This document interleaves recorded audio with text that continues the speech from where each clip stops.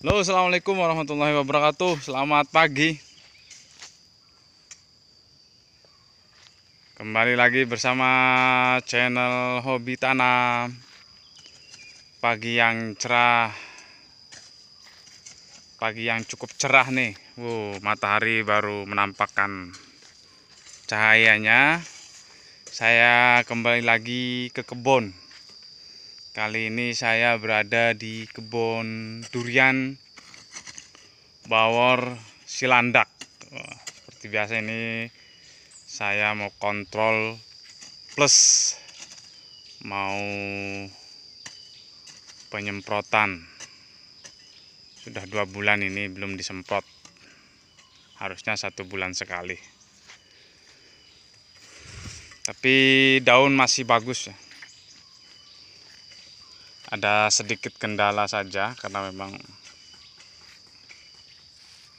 sedikit terlambat untuk penyemprotannya. Bagusnya itu satu bulan sekali. Daunnya hijau tua. Jadi terubusnya belum keluar ya.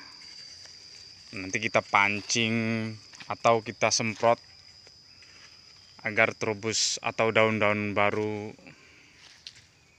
cepat keluar lagi Oke kita akan lakukan penyemprotan serta kita tambahkan gundukan seperti ini. Kita timbun ya bagian tanah bagian tengahnya. Kita timbun sedikit.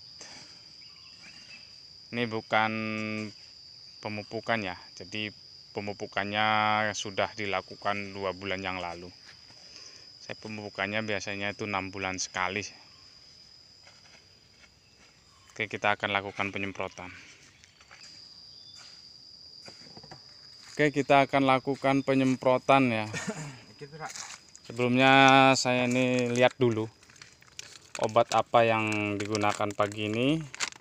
Untuk insektisida insektisida ya saya gunakan merek Ceba berbahan aktif asetambirit dan abamextin berarti double double bahan aktif saya gunakan untuk pagi ini untuk uh, mencegah terjadinya hama berupa kutu-kutuan tungau dan lain-lainnya atau kutu daun.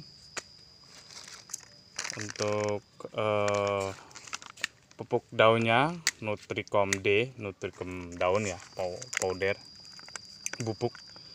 Ini gunakan setengah tutup saja atau untuk 16 ml itu kurang lebihnya 10 10 ml untuk 16 liter 10 ml jadi di sini eh, dosisnya tidak terlalu banyak ya. Setengah habis setengah. Ya kasih air.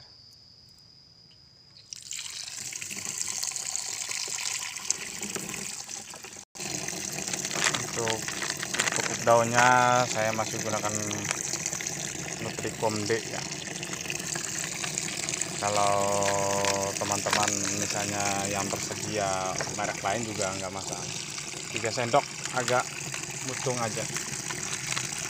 Nah, dan saya tidak lupa gunakan juga fungisida saya gunakan dari produk Bayer yaitu antrakol untuk mencegah jadinya penyerangan jamur. Atau eh, daun-daun eh, menjaga ya menjaga daun agar tetap hijau. Oke, kita sudah gunakan Nutricom D ini kita gunakan fungisida kurang lebihnya eh, 15 gram. Atau 2 sendok. 2 sendok saja. Mucung ya. Nah ya.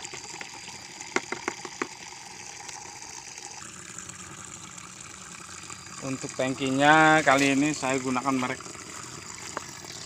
robot banyak di toko online ya cari merek robot. Harganya kisaran 550.000 belum ongkir. Oke kita langsung semprotkan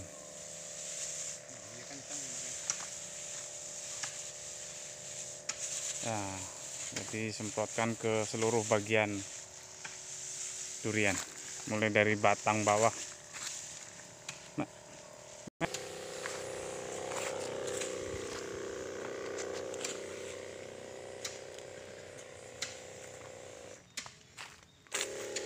Kok mana kok urung dicas kono ana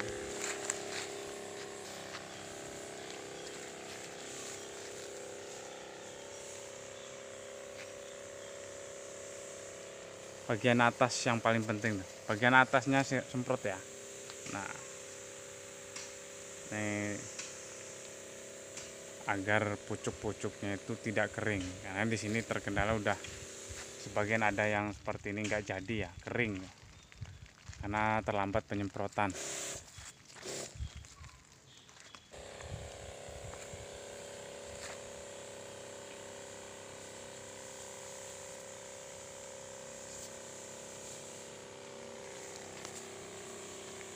kabut berkabut.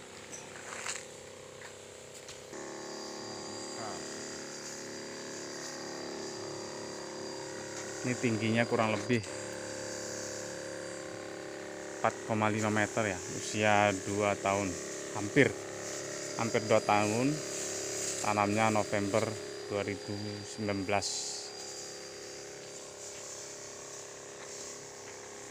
bagian atasnya bagian atas untuk bagian atas disemprot juga tapi disetel ya. Jadi spraynya agak nah, spraynya supaya kuat ke menembak ke bagian atas.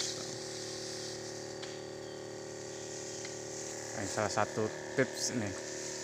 Bagi yang mau menyemprot yang sudah duriannya tinggi untuk bagian atas kita putar agar tidak terlalu berkabut.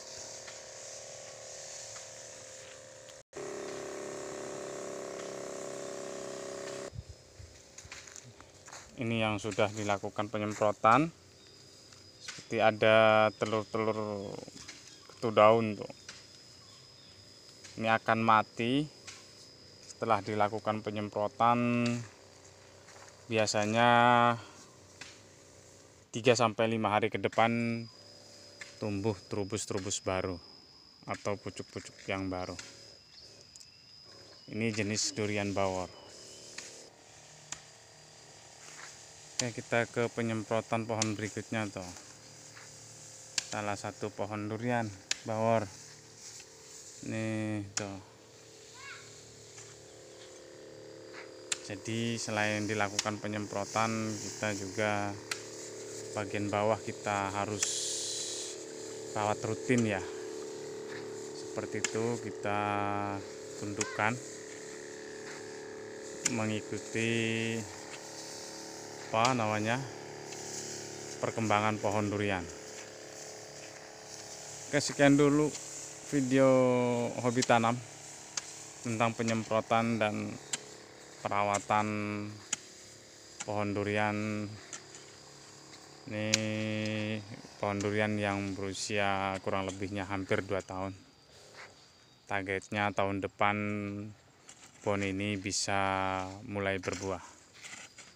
Jangan lupa klik like dan subscribe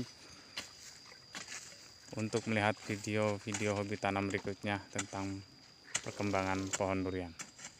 Wassalamualaikum warahmatullahi wabarakatuh